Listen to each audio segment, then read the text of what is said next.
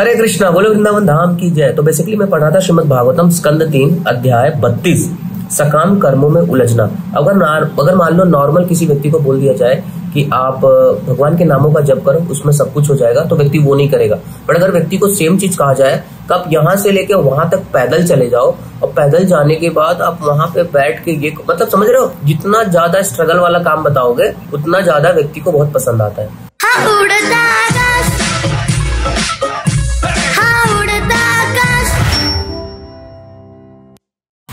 Normal जीवन में हमेशा देखने को मिलता है।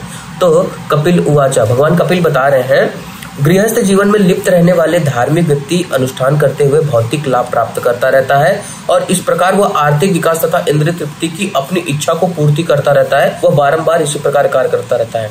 तो गृहस्थ दो प्रकार के होते हैं।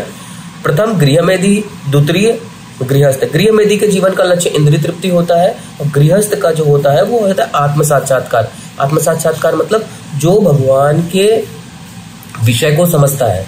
हाँ यहाँ श्री भगवान गृहमेधी के संबंध में अथवा उस व्यक्ति के विषय में बोल रहे हैं जो इस जगत में बना रहता है, उसका कार्य यह है कि वह आर्थिक विकास के लिए धार्मिक अनुष्ठान करते, भौतिक लाभों का भोग करना और अंततः अपनी इंद्रियों को तुष्ट करता। उसे इससे अधिक और कुछ नहीं चाहिए। ऐसा व्यक्ति अत्यंत धनी बनने तथा ठीक प्रकार से रहने और खाने पीने हेतु जीवन भर कठोर परिश्रम करता है। वह किसी पुण्य कार्य हेतु कुछ दान देकर अपने जन्म में स्वर्गलोक को जाता है। और जो गृहस्थ है हाँ वो व्यक्ति है जो जो अपने परिवार, पत्नी, बच्चे तथा कुटुंबों के साथ रहते रहते, किंतु उनसे उतना लगाव नहीं रखता। वह साधु या सन्यासी बनकर पारिवारिक जीवन बिताना पसंद करता है, किंतु उसका मुख्य उद्देश्य आत्म साक्षात्कार या कृष्ण भावना अमृत के पद तक पहुँचना होता है। किंतु यहाँ भगवान कपिल गृहमेदी के विषय में बता रहे हैं, जिनका लक्ष्य भौतिक रूप से संपन्न जीवन बिताना है, उसे वह यज्ञ, दान तथा कर्म द्वारा प्राप्त कर सकते हैं। तो बेसिकली यहाँ पे दो प्रकार के जो लोग होते हैं, एक होते हैं गृहस्थ, एक होता है गृहमेदी तो हमें गृहमेदी नहीं बनना है, हमें बनना है गृहस्थ। ठीक है? श्लोक नंबर टू। ये ध्यान से सुनना। ऐसे व्यक्ति इंद्रिय तृप्ति के प्रति अत्यधिक आसक्त होने के कारण भौतिक ऐसे व्यक्ति इंद्रिय तृप्ति से आसक्त होने के कारण भक्ति से विहीन होते हैं। अतः वे अनेक प्रकार के यज्ञ करते रहने तथा देवी देवताओं एवं पितरों को प्रसन्न करने हेतु बड़े बड़े व्रत करने पर भी वे कृष्ण भावना अमृत अर्थात भक्ति में सेवा में रुचि नहीं लेते। तो इसका तात्पर्य मैं कल पढ़ूँगा और मैं आपको बताऊँगा कि क्यों नॉर्मल ऐसे जो लोग होते हैं, वो नॉर्मल देखोगे ना, वो भगवान के भजन में उनको उतना इंटरेस्ट नहीं आता, पर जितना आप उनको पैदल चलवा लो, जितना आप उनसे देवी देवता की पूजा करा लो, यज्ञ करवा लो आप देखो ना, गाँव वगैरह में हमने बहुत सारे देखा है। अलग अलग लोगों की अलग अलग पूजा, पता नहीं वो शास्त्रों वर्णित होता है, नहीं होता, मुझे नहीं पता। हमने भी अपने गाँव में बहुत देखा है। बट फिर भी इसलिए हमें चाहिए श्रीमद भागवतम रोज पढ़ना। अगर आप भागवतम नहीं पढ़ रहे हो तो I request each and everyone रोज श्रीमद भागवतम पढ़ो। आपको बहुत सारी चीज़ें पता चलेगी। आज हमें क्या पता चला? कि दो प्रकार के लोग होते हैं। होता है गृहस्थ, एक होता है गृहमेधी हरे कृष्णा। अगर आपको कोई किसी ने पूछ भी लिया कि ये कहाँ पे लिखा है तो आप बता सकते हैं। स्कंद तीन, अध्याय बत्तीस, श्लोक नंबर वन। हाँ तो भैया, आप लोगों का स्वागत है इस नए व्लॉग में। फ़िलहाल मैं आया हूँ अपने स्कूटी की सर्विसिंग वगैरह कराने, क्योंकि सर्विसिंग वगैरह कुछ हुई नहीं थी। तो मैंने बोला, चलो करा लेते हैं। और साथ ही साथ आज वृंदावन का मौसम थोड़ा अच्छा है तो अभी मैं सोचा हूँ कि जाऊँगा। पहले कृष्ण बलराम के दर्शन करेंगे बहुत दिनों से किया नहीं। और उसके बाद हम देखते कहाँ कहाँ जाएँगे यमुना महारानी के दर्शन करने जाएँगे या कहाँ जाएँगे ये कैसे जाएँगे। आह, इतनी सर्दी हो गई है पूछो मत। तो ये हमारा कृष्ण क्या नाम है तुम्हारा? के के पूरा नाम अरे पूरा ये बताएगा तुम्हारा नाम तो। पूरा के के का फुल फॉर्म क्या है। कृष्ण कुमार? भाई राधे कृष्ण का ठीक है, नित्या? क्या नाम है इसका? बोल। बोल। बोलो, शिला प्रभुपाद की जय। स्कॉन मंदिर की जय। तो बहुत दिनों के बाद आप लोग को ये सारी चीज़ें देखने को मिल रही है उड़ता आकाश ब्लॉग में। तो चलो, पहले शिला प्रभुपाद समाधि मंदिर के दर्शन करेंगे, उसके बाद हम चलेंगे। भगवान श्याम सुंदर के दर्शन करेंगे। बोले, शिला प्रभुपाद की जय।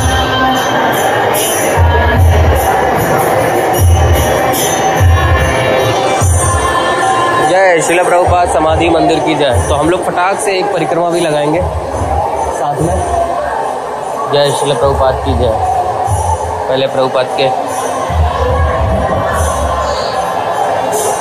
हरे कृष्णा। कृष्णा कृष्णा।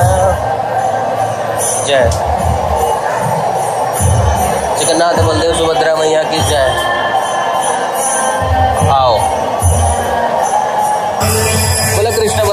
मंदिर की जय, शिला प्रभुपाद की जय। हरि बोल। क्या हाल है प्रभु? बढ़िया? जय एकदम बढ़िया। आ जाओ।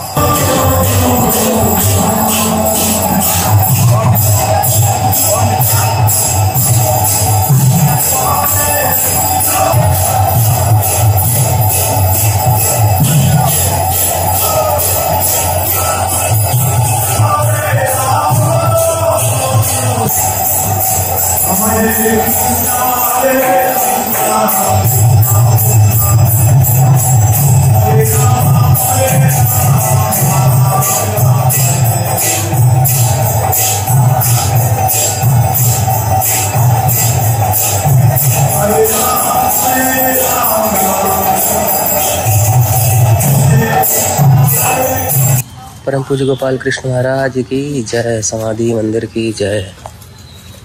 हरी बोल प्रसाद। लाओ प्रभु जी। थैंक यू प्रभु जी। जय हो। जय हो। ढक्कन हाँ ढक्कन रखे भाई। हरे कृष्णा गोपेश प्रभु की जय। बोले श्री मदन मोहन भगवान की जय। आओ हमारे साथ चलते हैं भगवान के। ये सबसे बेस्ट टेंपल है मेरे लिए तो। खाली सुंदर? अच्छे से, कोई भीड़ नहीं। भजन स्थली है, समझो। और यहीं से मदन मोहन का मंदिर भी दिखता है। दिख रहा है आपको?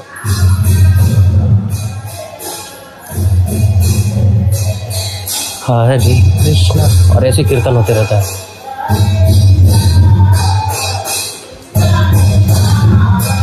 माता जी प्रभुपाद की बुक पढ़ रही है। हरे कृष्णा। हरे कृष्णा माता जी जय हो। मदन मोहन भगवान की जय।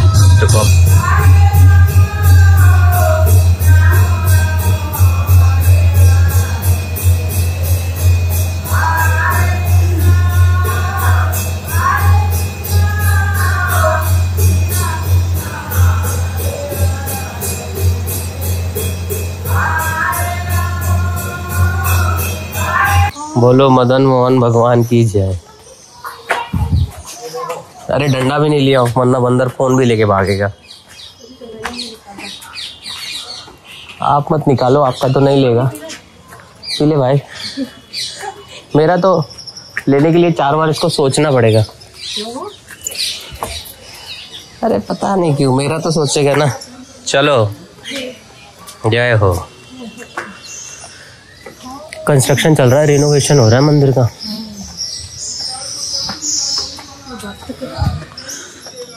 जितने लोग कैमरे में देख रहे होंगे जहाँ जहाँ मैं आँखें घुमाता हूँ वहाँ मैं कैमरे भी घुमाता हूँ। जय हो कृष्ण।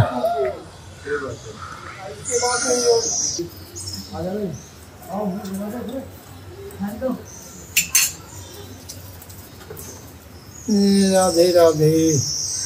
प्रभु प्रभु को नमस्कार कीजिए। प्रभु के सामने में किसी को नमस्कार नहीं किया जाता, कहीं भी हो। मात्र प्रभु जी को राधे राधे राधे राधे राधे राधे। राधे राधे। बोलो, अद्वैत वट की जय। यहाँ पे अपने राधा मदन मोहन जी का विग्रह का वो होगा था, प्राप्त होगा ये अद्वैत वट है। बोलो, अद्वैताचार्य की जय। जय श्री कृष्ण चैतन्य प्रभु नित्यानंद श्री अद्वैत गदाधर श्रीवास आदि गौर भक्त वृंदा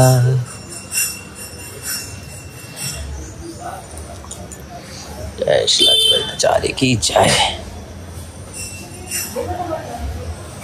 हरेर नाम हरेर नाम हरेर नाम। एव केवलम कलो नास्ति व नास्ति व नास्ति भगतिर अन्यथा। जय हो अद्वैत वट की जय।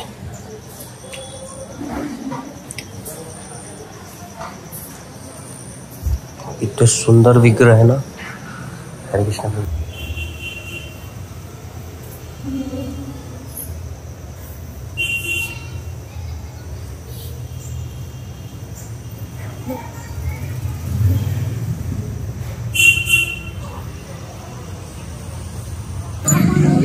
बोलो, यमुना महारानी की जय। जय जय श्री राधे श्याम, सबको मिले श्री वृंदावन नाम तो आप देख सकते हैं, यमुना का पानी कितना स्तर बढ़ गया है। हाँ? यहाँ तक आ गई पानी पूरा। वाह पानी का बहाव भी ज़्यादा है। जय हो यमुना महारानी। जूम करूँ क्या? बहुत